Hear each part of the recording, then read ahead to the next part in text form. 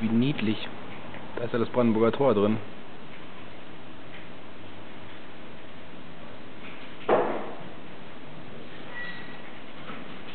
Oder irgend sowas in der Art.